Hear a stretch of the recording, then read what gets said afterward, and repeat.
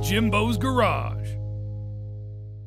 Good afternoon, everyone, and welcome back to Jimbo's Garage. Well, today's project, I've got an aluminum loading ramp here. I had this when I had my dump truck. It had a 12 foot bed on it, and this ramp is 12 foot long, and this is what we use to load the truck with trash or materials and the such. However, that truck is now gone, and now I have a 10 foot dump trailer. And this is two foot too long. So we've got to figure out how to cut off at least two foot of this ramp, weld it back together so we can store it and transport it safely in the new dump trailer. So let's get started today's video and try to figure out how to get this done. Today's video is sponsored by King Metals. They've got all your fabrication needs in one location. From hinges to hardware, balusters to metal decor, brass to aluminum, and a whole lot more. You name it, they've got it. Check them out today at kingmetals.com. Now let's get back to today's video. Okay, so here's the aluminum ramp right here. It's basically about 28 inches wide, and this one now is currently 12 feet long. We got to cut a couple feet off of this in order to get it in the dump trailer and I'm going to try to maintain the ramp end of this uh, this ramp right here. It tapers down to zero. It's about six or eight inches here, tapering down to zero. This is going to help us get us on the uh, get it on the ground flat. And uh, what I'm doing is I'm just scribing a line right here, right on the seam. There's a seam right there, and I'm going to go ahead and cut that uh, right on the seam and on the back side. I didn't show this. You'll see a little bit later where the two seams come together. It's just a great position. All right, I got my metal cutoff saw right here for the aluminum, and uh, one I thought I might be able to get through this pretty good with this, but you know there sure is a difference between a metal cutoff saw and aluminum uh, aluminum blade. Uh, this metal just uh, didn't quite get it, and uh, you know gummed up, so I changed out to the aluminum blade, and of course everything cuts through like butter. There's a salvaged piece that we're going to be welding on and then we're going to go ahead and mark this back to the right length. You can see I'm cutting about two feet out right on another seam right there. Just using a Sharpie to mark along the seam and uh, just squaring down to be sure I get a nice square cut.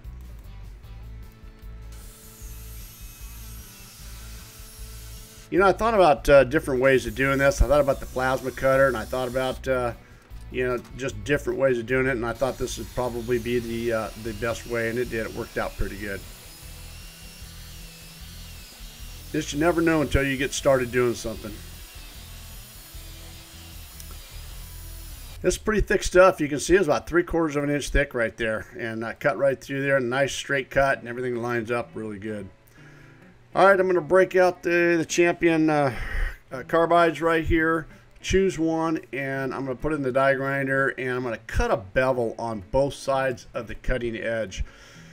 And the reason why I'm using a die grinder here is I'm trying to, you know, I, I want to keep the metal as clean as possible. I didn't want to get any contaminants in there. I was thinking about using a flap disc uh, or, you know, some sort of sanding disc in order to to get it cut down, but I thought the die grinder would be the best way. Like I said, just trying to keep it nice and clean and, and keep all the contaminants out when I go ahead and, and weld it up. You know, a nice little aluminum uh, welding job right here. Uh, this is one of the reasons why I'm filming this, this short little video right here is it's a good opportunity to use the uh, HTP Pro Pulse 300 in the aluminum MIG mode, not a push-pull or spool gun. Uh, this is a uh, this is just straight MIG aluminum. Not everybody does it, and it, you don't see it uh, too often, but it's pretty unique and it's a good process. With the other side all cleaned up and beveled out and cleaned out, the same thing. I'm repeating the process right here uh, with the die grinder. And granted, it takes a little bit of time uh, to get it just right, but I think that the payoff is good rather than uh, having any kind of contaminants and uh, possibly ruining the weld. And then the stainless steel wire wheel right here uh, to clean up the edges about an inch away to get everything nice and clean and get down to some clean metal.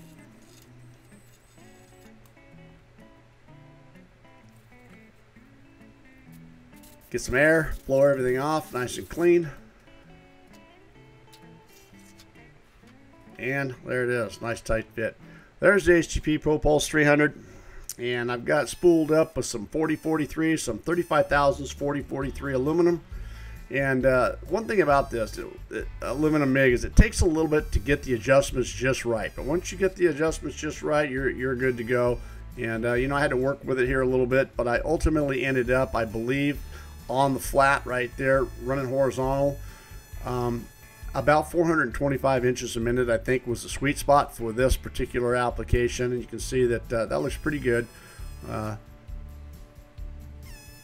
you know, it's filling the gap in nice and flat.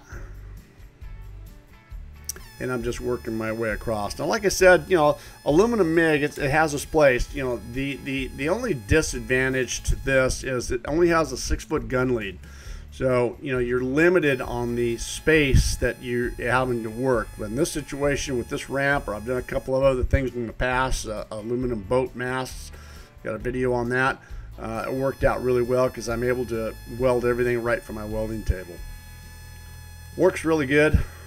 It's nice and smooth when everything is operating uh, just right. You can see the bead in there, lays in there really nice, just like a regular MIG bead. All right, got this side done. And uh, that's what it looks like. Not clean, not touched. That's just untouched. That's just the way it was when it came when I was done welding. All right, here's the back side. And you can see the two seams I was talking about where it comes together right there. So this is my uh, little run it uh, vertical up right here. And I got to say, it. Uh, I started at 425 inches uh, uh, a minute. And I had to tune that down quite a bit to get the adjustment just right. It was a little too warm going uphill. So I got it turned down to about 325 inches a minute. And uh, that was a sweet spot. And that worked out uh, pretty good the rest of the way. You know, vertical up uh, works just as good going uphill as it does on the horizontal or the flat position. Um, yeah, surprisingly, you think you get a lot of drip or, or, or fallout, but uh, you know, it holds in there really nice and, and works pretty good.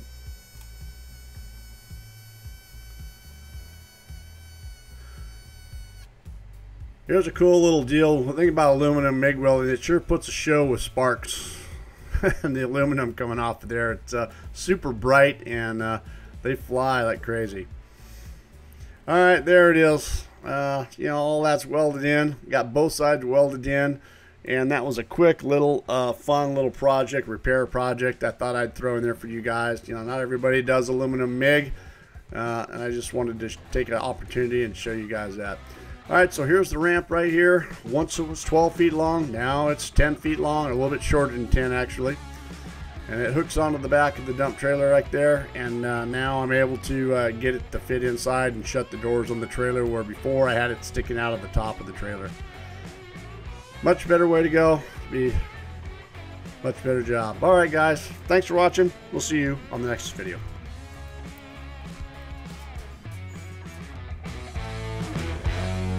Welcome to Jimbo's Garage.